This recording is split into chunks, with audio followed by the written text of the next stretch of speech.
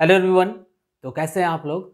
आशा करते हैं कि सभी लोग मस्त होंगे। तो दोस्तों, आज के इस लेक्चर में हम डिस्कस करेंगे क्लास एलेवेंथ का chapter five, Newton's laws of motion, ठीक है ना? लॉज ऑफ़ मोशन से रिलेटेड हमने और भी कुछ वीडियोस को बना रखा है, जिनका लिंक हमारे डिस्क्रिप्शन बॉक्स में दिया हुआ है। यदि आपने उन लेक्चर्स को नहीं देखा है तो एक बार डिस्क्रिप्शन बॉक्स खोलें और सारे वीडियोज़ को पार्ट वाइज जा करके देखें। आपको एक एक टॉपिक बड़ा ही क्लियरली समझ में आएगा। तो दोस्तों, आज की इस लेक्चर में हम डिस्कस करेंगे, सबसे पहला टॉपिक तो होगा हमारा हार्स एंड कार्ड प्रॉब्लम ठीक है? दूसरा जो हमारा टॉपिक होगा, वो होगा apparent weight of man in the lift ठीक है ना? दूसरा टॉपिक ये हो गया। और जो तीसरा टॉपिक होगा हमारा, वो होगा लैमिस थ्योरम ठीक है? तो आइए देर न करते हुए स्टार्ट करते हैं आज के इस लेक्चर को। तो आज हम सबसे पहले स्टार्ट करेंगे हार्स एंड कार्ड प्रॉब्लम ठीक है? अब सपोज़ कर लो कि यहाँ पर हमने क्या लिया? एक हमने हार्स कॉट ले लिया है। इसमें हम देख रहे हैं कि ये जो घोड़ा गाड़ी है, इसमें दो कंडीशन होगा। पहला तो यहाँ पे सपोज़ कर लो, यहाँ पे घोड़ा लगा हुआ है, ठीक है ना? यहाँ पे हार्स है। ये हॉर्स हम जानते हैं कि जब दौड़ता है तो पीछे की तरफ़ फोर्स लगाता है, ठीक है ना? तो सपोज़ कर लो कि जो घोड़ा है, वो पीछे की तरफ़, यानी बैकवर्ड डायरेक्शन में यफ फोर्स एग्जर्ट कर रहा है, ठीक है? अगर हम इसका एफ़ बनाएँ तो सबसे पहला इसका एफ़ होगा, जो इसका वेट होगा एमजी वो डाउनवर्ड डायरेक्शन में होगा, ठीक है? इसका वेट किधर होगा? डाउनवर्ड डायरेक्शन में होगा। हॉर्स जो पीछे की तरफ़ फोर्स लगाएगा, उस फोर्स के थ्रू कह सकते हो कि अगर फोर्स इधर की तरफ़ होगा तो इसके परपेंडिकुलर इधर नॉर्मल रिएक्शन होगा तो ये रहा इसका नॉर्मल रिएक्शन ठीक है? नॉर्मल रिएक्शन के दो कंपोनेंट्स फाइंड करने पड़ेंगे आपको। एक तो इसका हॉरिजॉन्टल कंपोनेंट होगा, जिसको हमने एच नाम दे दिया, और दूसरा इसका वर्टिकल कंपोनेंट होगा, जिसको हमने वी नाम दे दिया है। आपने पढ़ा है कि अगर हम अर्थ पर जितना फोर्स लगाएँगे तो अर्थ भी हमारे पर उतनी ही फोर्स लगाती है according to Newton third law ठीक है? तो घोड़ा अगर पीछे की तरफ़ बैकवर्ड डायरेक्शन में यदि इसने फोर्स लगाया है तो अर्थ भी इस पर कुछ फोर्स लगाएगी, और उतनी ही फोर्स लगाएगी जितना कि हॉर्स ने इस पर लगाया था, ठीक है? और उस फोर्स का जब हमने दो कंपोनेंट निकाला, एक हमने वर्टिकल कंपोनेंट निकाला, दूसरा हॉरिजॉन्टल कंपोनेंट निकाला तो आप देखोगे कि जो इसका वर्टिकल कंपोनेंट है, वो एम को कैंसिल आउट कर देगा। और यहाँ पर बचा एक हॉरिजॉन्टल कंपोनेंट बचा, ठीक है? अब एक चीज़ और ध्यान देना कि ये जो हॉर्स है हॉर्स इस कार्ट से कह सकते हैं आप कि किसी रस्सी से या फिर कह सकते हो किसी सपोर्ट के थ्रू अटैच होगा, ठीक है? तो चाहे जैसे भी अटैच होगा तो कह सकते हो कि यहाँ पर जो स्ट्रिंग लगा होगा, इसमें कुछ ना कुछ टेंशन आएगा, ठीक है? एक टेंशन तो हॉर्स इसको अपने तरफ़ खींच रहा है, यानी कि एक टेंशन इधर की तरफ़ होगा और दूसरा, हम जानते हैं कि जितना हॉर्स इसे फोर्स लगाएगा कार्ट भी उतना ही फोर्स पीछे की तरफ़ लगाएगा, यानी कि यहाँ पर माइनस टी टेंशन कार्ट जो है घोड़े पर पीछे की तरफ़ लगा रहा है। लेकिन हम जानते हैं कि अगर घोड़ा गाड़ी ऐसे आगे की तरफ़ जाएगा तो इसका एक्सलेशन कुछ कह सकते हैं, ऐसे फॉरवर्ड डायरेक्शन में होगा। तो फॉरवर्ड डायरेक्शन होने का मतलब क्या है कि हॉर्स के द्वारा जो लगाया गया फोर्स है, वह फोर्स ज़्यादा होगा in comparison of the force of the cart ठीक है?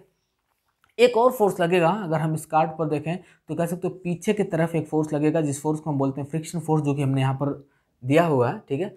स्मॉल एफ़ क्या है? वो फ्रिक्शन फोर्स है जो कि पीछे की तरफ़ लगेगा, आप सभी ने पढ़ा है कि फ्रिक्शन फोर्स वह फोर्स होता है जो रिलेटिव मोशन का अपोज करता है। यानी कि कह सकते हो कि हमेशा मोशन के अपोजिट डायरेक्शन में फ्रिक्शन फोर्स लगेगा। यानी कि यदि बॉडी इस डायरेक्शन में मूव कर रही है तो फ्रिक्शन फोर्स इसके अपोजिट होगा। और यदि बॉडी इस डायरेक्शन में मूव कर रही है तो फ्रिक्शन फोर्स इसके जस्ट अपोजिट होगा। तो यानी कि लगभग क्लियर हो गया होगा आपको कि इसका एफ़ हमने यहाँ पर बना रखा है।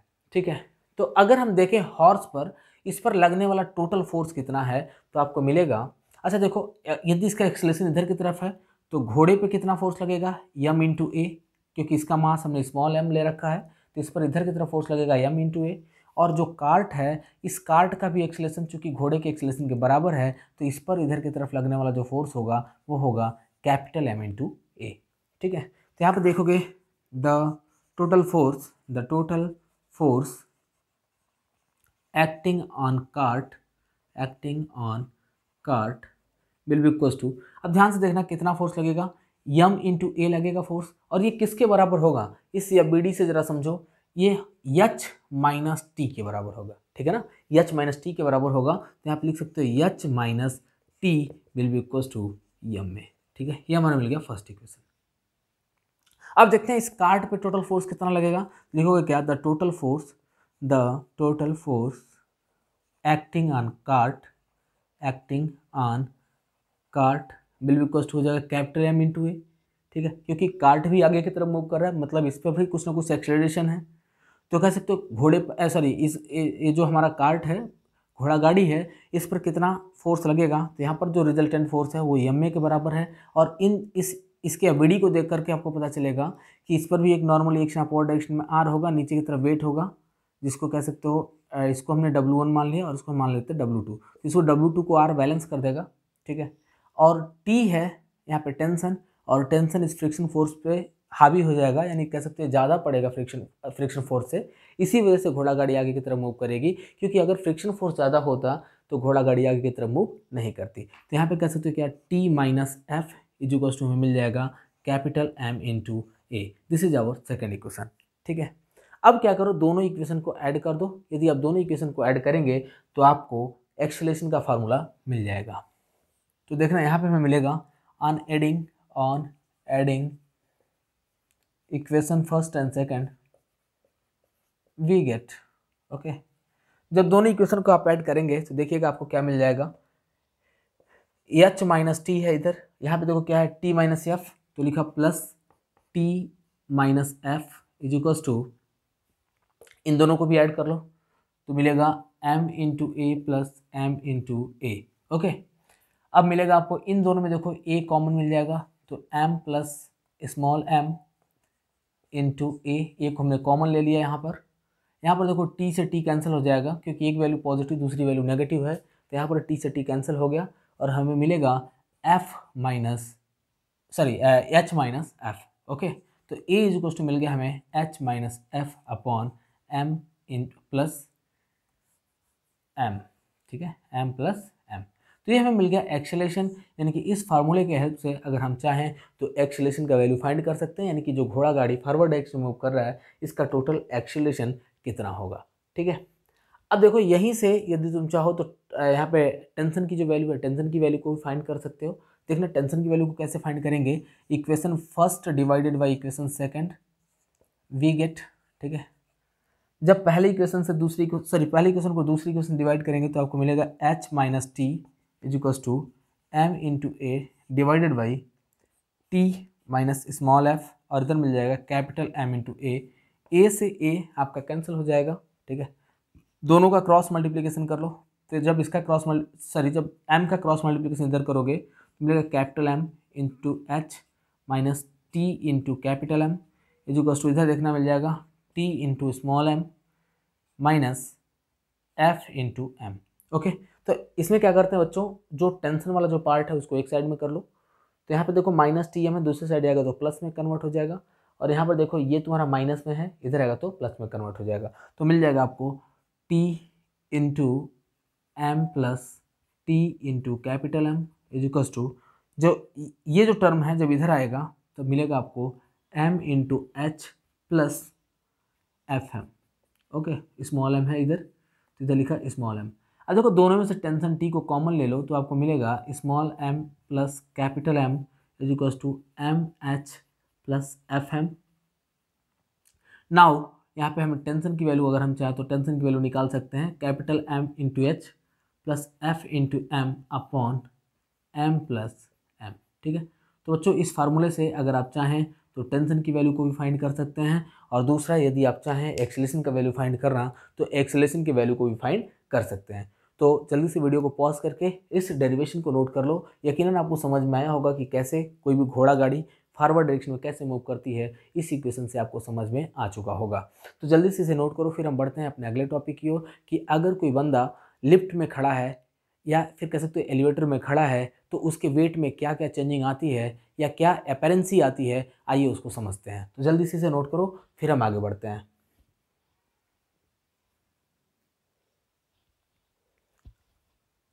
सो गाइस आइए देखते हैं apparent weight of man in lift ठीक है? सपोज़ कर लो कोई लिफ्ट है लिफ्ट यदि अपवर्ड डायरेक्शन मूव करता है तो उस कंडीशन में जो भी पर्सन उस लिफ्ट के अंदर होगा, उसका वेट चेंज हो जाता है। ठीक है? और यदि कह सकते हो लिफ्ट डाउनवर्ड डायरेक्शन मूव करेगा, इन दैट केस आल्सो जो पर्सन उसके अंदर होगा, उसका वेट चेंज हो जाएगा। यानी कि कह सकते हो कि जब कोई बॉडी अपवर्ड डायरेक्शन मूव करे, सॉरी, जब लिफ्ट अपवर्ड डायरेक्शन मूव करेगी या फिर डाउनवर्ड डायरेक्शन मूव करेगी तो दोनों ही कंडीशन में उसके अंदर जो पर्सन होगा, उस पर्सन का वेट चेंज हो जाएगा। तो हमें उसी चेंज को निकालना है कि कब वेट बढ़ेगा और कब वेट घटेगा और कब वेट कॉन्स्टेंट होगा। ठीक है तो आइए देखते हैं, अगर हम बात करें इस लिफ्ट का और यह लिफ्ट अपवर्ड डायरेक्शन मूव कर रहा है। ठीक है तो पहला कंडीशन लिखते हैं। When the lift move upward with acceleration A ठीक है ना? अगर सपोज़ करो कि जो हमारा लिफ्ट है लिफ्ट अपवर्ड डायरेक्शन मूव कर रहा है और इस लिफ्ट का एक्सेलेशन ए दिया हुआ है। ठीक है? तो इस कंडीशन में यहाँ पर जो बंदा खड़ा होगा जो पर्सन यहाँ पे खड़ा होगा अगर हम उसका एफ़ बनाएँ तो सबसे पहला तो एक इसका जो है कह सकते हो नीचे की तरफ़ एक वेट होगा इसका। वेट कह सकते हो इसका एमजी होगा नीचे की तरफ़ क्योंकि यदि इस पर्सन का वेट एम है तो कह सकते हो नीचे की तरफ़ जो वेट होगा वो कितना होगा? एम होगा। ओके दूसरा अपवर्ड डायरेक्शन में एक, एक इसका नॉर्मल रिएक्शन होगा ठीक है? क्या सिंपली कह सकते हो क्या कि अगर कोई पर्सन लिफ्ट में खड़ा होगा तो उस पर्सन पे एक नॉर्मल रिएक्शन वर्क करेगा जो कि अपवर्ड डायरेक्शन में होगा, ठीक है? तो हम कह सकते हैं कि एक यहाँ पे नॉर्मल रिएक्शन है और दूसरा है वेट अब सिंपली सोचो, यदि ये बॉडी अपवर्ड डायरेक्शन मूव कर रही है मीन्स यह हुआ कि यहाँ पर नॉर्मल रिएक्शन का इफ़ेक्ट ज़्यादा होगा और इस वेट का इफ़ेक्ट कम होगा क्योंकि बॉडी फॉरवर्ड डायरेक्शन मूव कर रही है, ठीक है? तो इस कंडीशन में हम कह सकते हैं here R minus M G equals to M into A अच्छा एम इन टू ए हमने कैसे लिख लिया? क्योंकि बॉडी अपवर्ड डायरेक्शन मूव कर रही है तो इस पर लगने वाला टोटल फोर्स कितना होगा? एम इन टू ए के बराबर होगा, इसलिए यहाँ पर हमने लिख लिया R minus M G equals to M into A okay तो यहाँ पर मिलेगा आपको R equals to M into A plus M G यहाँ पर देखो दोनों में अगर हम देखें, या ए माइनस है, दूसरी साइड अगर प्लस हो जाएगा, और इन दोनों इक्वेशन में देखो तो एम कॉमन मिल जाएगा आपको तो मिलेगा R equals to M in bracket A plus G तो आप देख रहे हैं कि यहाँ पर जो इस बॉडी का वेट होगा, वो वेट बढ़ जाएगा, ठीक है? तो अगर देखें कि इसका अपेरेंट वेट जो होगा, अगर लिफ्ट अपवर्ड डायरेक्शन मूव करेगी तो उस बॉडी का वेट बढ़ जाएगा जो इसके अंदर रखा होगा, या जो पर्सन इसके अंदर खड़ा होगा, उस पर्सन का अपेरेंट वेट बढ़ जाएगा। क्योंकि यहाँ पर देख रहे हो कि एक्सलेशन और एक्सलेशन ड्यू टू ग्रेविटी दोनों को जब जोड़ेंगे तो ज़ाहिर सी बात है कि यहाँ पर एक्सलेशन का इफ़ेक्ट ज़्यादा हो जाएगा मीन्स यहाँ पर वेट बढ़ गया। दूसरा कंडीशन देखते हैं। When lift move downward with an acceleration A ठीक है? अगर सपोज़ करो जो लिफ्ट है वो डाउनवर्ड डायरेक्शन मूव कर रही है विथ एक्सलेशन ए यानी कि इधर की तरफ़ ऐसे मूव कर रही है तो इस कंडीशन में कह सकते हो कि इसके अंदर जो पर्सन होगा, जो बंदा होगा, इसका मास यदि यम है तो कह सकते हो इस पर एक ऊपर की तरफ़ लगेगा, जो कि नॉर्मल रिएक्शन होगा दूसरा नीचे की तरफ़ लगेगा जो कि एम इसके वेट के बराबर होगा, ठीक है? जो वेट होगा एम के बराबर होगा। अब ज़रा सोचो कि बॉडी डाउनवर्ड डायरेक्शन मूव कर रही है, इसका सेंस यह हुआ कि वेट का इफ़ेक्ट ज़्यादा होगा in comparison of normal reaction means हम वेट में से नॉर्मल रिएक्शन को जब सब्ट्रैक्ट करेंगे तो टोटल फोर्स निकलेगा। तो हियर हम कह सकते हैं here M G minus R will be equals to M into A ठीक है? सभी को समझ में आया होगा कि ये वैल्यू कहाँ से आया है, ठीक है? यहाँ पर देखो, ये आर अपोजिट डायरेक्शन में है, इसलिए एम जी माइनस आर हमने लिखा। यहाँ पर हमने आर माइनस एम जी लिखा था क्यों? क्योंकि आर का वैल्यू ग्रेटर था और एम जी का वैल्यू कम था। क्योंकि सर कैसे पता चला कि आर का वैल्यू ग्रेटर है? क्योंकि बॉडी अपवर्ड डायरेक्शन में ही मूव कर रही है मीन्स इसका इफ़ेक्ट ज़्यादा है, ठीक है? यहाँ पे बॉडी डाउनवर्ड डायरेक्शन मूव कर रही है मतलब वेट का इफ़ेक्ट ज़्यादा है, इसलिए डाउनवर्ड डायरेक्शन मूव कर रही है, ठीक है? इसलिए इसमें से हमने क्या किया? आर को माइनस किया, बराबर एम में हमने लिख दिया है। एम में जो होगा, किधर होगा? डाउनवर्ड डायरेक्शन में होगा, ठीक है? अब देखो, यहाँ पे मिलेगा तुम्हें आर इजिकल्स टू आर को इस साइड भेज दो और यम ए को इधर लेके आ जाओ। यम ए इधर प्लस इधर आएगा तो क्या हो जाएगा? माइनस तो मिलेगा तुम्हें M G minus M into A अब यहाँ पर देखो, दोनों इक्वेशन में अगर हम देखें तो इन दोनों में एम कॉमन है तो एम को हमने कॉमन ले लिया और यहाँ मिलेगा जी माइनस ए तो यहाँ पर हम देख रहे हैं क्या कि जो नेट वेट होगा इस पर्सन का, जो इस लिफ्ट के अंदर है, वो डिक्रीज हो जाएगा। डिक्रीज क्यों हुआ? यहाँ पर देखो, यहाँ पे क्या हो रहा था? वेट इंक्रीज हो रहा था इस कंडीशन में। और यहाँ पर आपने देखा कि इस कंडीशन में जो वेट है वो क्या हो रहा है? डिक्रीज हो रहा है। डिक्रीज क्यों होगा? क्योंकि आप देख रहे हैं कि एक्सलेशन ड्यू टू ग्रेविटी में से अगर हम एक्सलेशन को माइनस करेंगे तो इसका इफ़ेक्ट कुछ ना कुछ कम हो जाएगा, यानी इसका जो वेट है कुछ ना कुछ कम हो जाएगा। ठीक है? और यदि सपोज़ कर लो कि जो लिफ्ट है लिफ्ट स्टेशनरी पोजिशन में है, यानी कि when the lift when the lift is at rest ठीक है? जब लिफ्ट अपने स्टेशनरी पोजीशन में होगा, यानी रेस्ट में होगा, उस कंडीशन में क्या होगा? कह सकते हो इधर की तरफ़ एम जी वेट लगेगा, ऊपर की तरफ़ लगेगा नॉर्मल रिएक्शन यदि इस पर्सन का मास एम है तो ठीक है? और यहाँ पर आप देख रहे हैं कि एक्सलेशन बराबर ज़ीरो है, क्योंकि बॉडी रेस्ट में है, और जब बॉडी रेस्ट में है तो एक्सलेशन इसका क्या होगा? ज़ीरो तो यहाँ पे कह सकते हो here here R minus M G equals to zero ठीक है? चाहो तो M G minus R equals to भी ज़ीरो लिख सकते हो, क्योंकि दोनों का इफ़ेक्ट एक बराबर है, तभी जाके यहाँ पे फोर्स ज़ीरो आएगा। ज़ीरो क्यों आएगा? क्योंकि एक्सलेशन ज़ीरो है तो फोर्स ज़ीरो आएगा। अब देखना, यहाँ पे मिल जाएगा तुम्हें R equals to M G तो यहाँ पर आप देख रहे हैं कि इस पर्सन का वेट चेंज नहीं हुआ। यानी कि अगर वेट सॉरी लिफ्ट जो होगा, वो रेस्ट पोजीशन में होगा, यानी स्टेशनरी पोजीशन में होगा तो कह सकते हो कि वहाँ पे नॉर्मल रिएक्शन कांस्टेंट होगा। यदि लिफ्ट अपवर्ड एक्शन मूव करेगा तो जो पर्सन है, उस पर्सन का वेट इंक्रीज करेगा। और यदि लिफ्ट डाउनवर्ड डायरेक्शन मूव करेगा तो जो इसके अंदर जो पर्सन होगा, उसका वेट डिक्रीज होगा। तो जल्दी से वीडियो को पॉज करके नोट करो, फिर हम बढ़ते हैं अपने अगले टॉपिक की ओर।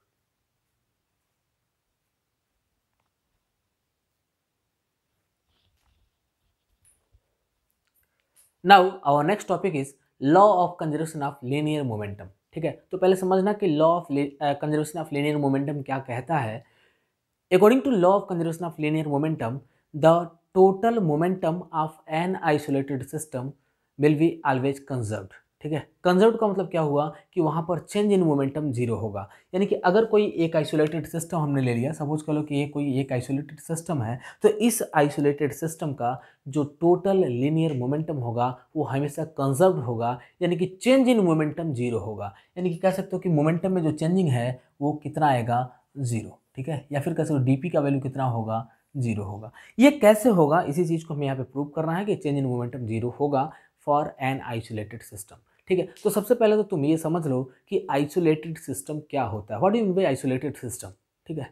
सिंपल सी बात है कि आइसोलेटेड सिस्टम हम उस सिस्टम को कहते हैं जिसको बाहरी दुनिया से कोई मतलब नहीं होता। बाहरी दुनिया से कोई मतलब नहीं होता, इसका सेंस क्या है? कि उस पर बाहर से ना तो कोई फोर्स लगेगा, ना तो कोई प्रेशर वर्क करेगा, ना तो कोई एनर्जी मिलेगी उसे मतलब बाहरी दुनिया से उसे कोई भी मतलब नहीं होगा। उसे सिर्फ़ और सिर्फ़ अपने अंदर के दुनिया से मतलब होगा। यानी सिंपली कह सकते हो क्या? कि इसके अंदर जो पार्टिकल्स होंगे, उन पार्टिकल्स का वेलोसिटी या कह सकते हो इसका एक्सेलेशन या इस पर लगने वाले फोर्सेस ठीक है? या इसका टेम्परेचर वो हमेशा कांस्टेंट होगा वो कभी बदलेगा नहीं। क्यों? क्योंकि ये एक आइसोलेटेड सिस्टम है और इस आइसोलेटेड सिस्टम पे बाहर से कोई भी एक्सटर्नल फोर्स वर्क नहीं करेगा ठीक है? तो यहाँ पे हम देखो हम कंसिडर करते हैं यहाँ पे कोई आ, एक सिस्टम होगा तो सिस्टम हम जानते हैं बहुत सारे पार्टिकल्स होंगे तो हम कंसिडर करते हैं कि पहले पार्टिकल का मास वन है दूसरे पार्टिकल का मास चलो हमने यम टू सपोज़ कर लिया यहाँ पे। दूसरे पार्टिकल का मास हमने यम टू मान लिया।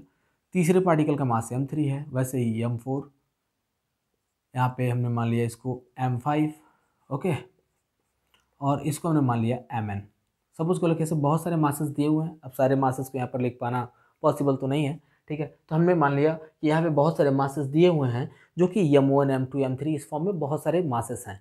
अगर सपोज़ कर लो कि जब ये सिस्टम मूव करेगा तो उस कंडीशन में सारे के सारे पार्टिकल का कुछ ना कुछ इंडिविजुअल वेलोसिटी होगा, ठीक है? तो जब ये सिस्टम मूव करेगा तो इसमें पहले पार्टिकल का हम वेलोसिटी एम वन मान ली सॉरी वी वन मान लिया दूसरे पार्टिकल की वेलोसिटी हम मान लेते हैं वी टू तीसरे पार्टिकल वेलोसिटी हो गया वी थ्री वैसे ही यहाँ पे सॉरी इधर थोड़ा सा डायरेक्शन हो गया। ये एम टू मास था, ठीक है? यहाँ पे इसका वेलोसिटी हमने मान लिया वी फोर वैसे ही यंथ वाले का हमने मान लिया वी एन मान लिया। ठीक है? तो इस कंडीशन में कह सकते हो here the total linear momentum will be equals to M one V one M one V one plus M two V two plus M three V three S one plus M N V N okay इतना तो clear हो गया होगा आपको कि जो total linear momentum होगा, वो सारे के सारे मोमेंटम के वेक्टर सम के बराबर होगा। मीन्स यहाँ पर हम लिख सकते हैं P equals to P one plus P two plus S one plus P N okay इतना तो क्लियर हो गया होगा बच्चों। अब ध्यान देना एक चीज़। As we know that as we know that the rate of change in linear momentum will be equals to applied force ठीक है ना? जो rate of change in linear momentum होगा वो हमेशा अप्लाइड फोर्स के बराबर होगा। ऐसा आपने न्यूटन के सेकेंड लॉ में पढ़ा हुआ था, ठीक है? तो इसी लॉ को हम यहाँ पर अप्लाई करते हैं। लेकिन अगर हम बात करें एक आइसोलेटेड सिस्टम का तो फॉर एन आइसोलेटेड सिस्टम जो टोटल फोर्स होगा टोटल एक्सटर्नल फोर्स हमेशा ज़ीरो होता है। तो यहाँ पर लिखोगे क्या? For an isolated system isolated system F will be equals to zero okay जब यहाँ पर टोटल फोर्स की वैल्यू ज़ीरो हो गई तो कह सकते हो कि हम सिंपली इसको लिख सकते हैं D P upon D T will be to zero ठीक है?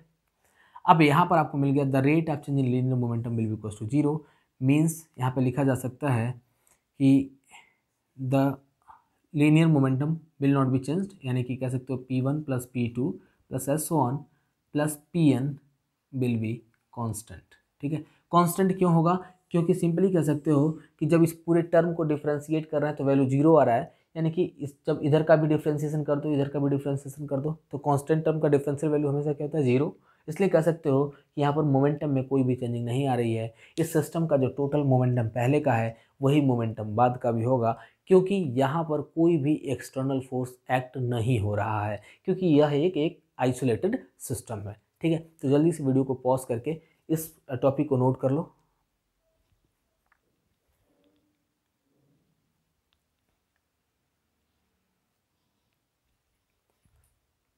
सो so गाइस अभी जस्ट हमने जो आपको बताया था law of conservation of linear momentum वो सेकंड लॉ के अकॉर्डिंग हमने उस डेरिवेशन को सॉल्व किया था। आइए अब हम थर्ड लॉ के according law of conservation of linear momentum की डेरिवेशन को सॉल्व करेंगे। ठीक है? तो इसके लिए देखो, हम कंसिडर करते हैं कि यहाँ पर कोई बॉडी है यम जिसका वेलोसिटी दिया हुआ है यू वन ये यू वन वेलोसिटी से आगे की तरफ़ मूव कर रहा है ओके एक दूसरी बॉडी है जिसका मास है एम टू जो कि यू टू वेलोसिटी से मूव कर रहा है। अगर सपोज़ कर लो U one is greater than U two तो इन दिस केस ये दोनों बॉडी कहीं ना कहीं पर एक दूसरे को कोलाइड करेगी। जब दोनों बॉडी एक दूसरे से टकराएगी तो जो पहली बॉडी है, वो दूसरे बॉडी पर फोर्स लगाएगा F two one F two one क्या हुआ? Force on second body due to first body और जो दूसरी बॉडी है, वो पहले में फोर्स लगाएगी, यानी कि इसको हमने नाम दिया F one two F one two मतलब क्या हो गया? Force on first body due to second body ठीक है? और उसके बाद दोनों बॉडी का वेलोसिटी चेंज हो जाएगा, यानी जो बॉडी का मास एम वन था, उसका वेलोसिटी वी वन हो जाएगा, और जिस बॉडी का मास एम टू था, इस बॉडी का वेलोसिटी वी टू हो जाएगा, ठीक है?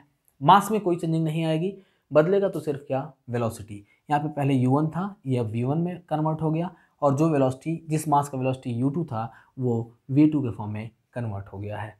ठीक है? तो लिख सकते हो क्या? Here here F one two here F one two equals to हम लिख सकते हैं delta P one upon delta T okay F one two equals to हमें क्या मिल गया? Delta P one upon delta T ठीक है? डेल्टा पी वन बोले तो डेल्टा पी वन हो गया हमारा M one V one minus M two V two sorry M two U U one sorry P one जो है, पहले बॉडी का मोमेंटम है। तो पहले बॉडी का देखो फाइनल मोमेंटम क्या होगा? यम वन वी वन और इसका इनिशियल मोमेंटम क्या होगा? M one U one. तो यहाँ पर लिखेंगे क्या?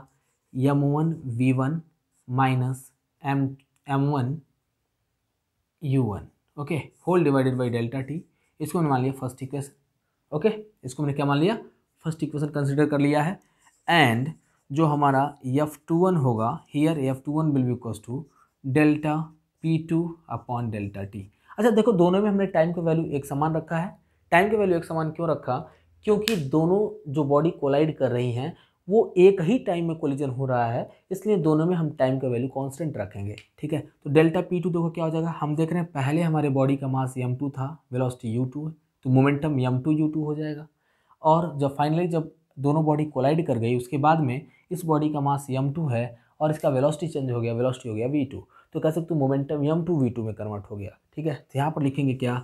M two V two minus M two U two whole divided by delta this is our second equation okay अब आपको ये चीज़ पता होगा कि according to Newton's third law each and every action have equal and opposite reaction यानी कि कह सकते हो कि पहली बॉडी ने जितना फोर्स दूसरे पर लगाया था, दूसरी बॉडी भी पहले पर उतना ही फोर्स लगाएगी। ठीक है? तो यहाँ पर लिखो क्या? According to according to Newton's third law according to Newton's third law देखिएगा क्या मिलेगा आपको? F one two is equals to negative sign of F two one आप सभी जानते हैं कि ऐसा होता है कि पहली बॉडी दूसरे पर जितना फोर्स लगाएगी, दूसरी बॉडी भी पहले पर उतनी ही फोर्स लगाएगी, ठीक है? तो इसका वैल्यू देखो, हमने यहाँ पर फाइंड किया है, ये क्या है? M one V one minus M one U one upon delta T और इधर हमें मिला है minus of M one sorry M two V two minus M two U two upon delta T, okay? यहाँ पर देखो डेल्टा टी से delta T cancel हो जाएगा और हमें मिलेगा M one, V one minus M one, U one बराबर minus M two, V two plus M two, U two. क्योंकि जब नेगेटिव साइन अंदर जाएगा तो ये नेगेटिव जो टर्म है वो पॉजिटिव में कन्वर्ट हो जाएगा और जो पॉजिटिव है वो कैसे? नेगेटिव में। यहाँ पे मिला आपको यम वन, वी वन, इसको इधर लेके आ जाओ, plus M two, V two यहाँ पे देखो नेगेटिव दूसरे साइड जाएगा तो प्लस में कन्वर्ट हो जाएगा तो M one U one plus M two U two okay तो यहाँ पर हमें मिल गया the total final momentum of the system will be equal to the total initial momentum of the system यानी कह सकते हो कि जो मोमेंटम है momentum of body before collision will be always equal to the momentum of body after collision ठीक है ना? यानी दोनों ही मोमेंटम हमेशा एक समान होगा बॉडी के कोलिजन से पहले जितना मोमेंटम था, उतना ही मोमेंटम बॉडी के कोलिजन के बाद भी होगा, अगर टोटल मोमेंटम की हम बात करें तो ठीक है? तो यहाँ पर भी हम देख रहे हैं कि मोमेंटम में कोई भी चेंजिंग नहीं आ रही है। तो यहाँ पर आपने सेकंड सेकंड लॉ के हेल्प से आपने law of conservation of linear momentum को डिराइव किया है और अभी हमने यहाँ पे थर्ड लॉ के हेल्प से law of conservation of linear momentum को आपको समझाया है। तो आप, मैं कुछ पल के लिए हट गया हूँ। आप चाहें तो इस वीडियो को पॉज करके इसको नोट कर सकते हैं, ठीक है? यकीन अगर आप फिजिक्स पढ़ रहे हैं तो पेन कापी तो लेकर के पढ़ ही रहे होगे, ठीक है? और अगर नहीं है पास में तो इसका स्क्रीनशॉट भी ले सकते हो ताकि आप बाद में नोट्स बना सकें। तो दोस्तों, आज के लिए इतना ही। मिलेंगे आपसे अगली वीडियो में, तब तक के लिए विदा लेना चाहेंगे।